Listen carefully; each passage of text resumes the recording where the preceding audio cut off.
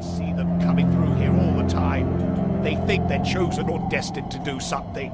Usually some weirdo has told them so.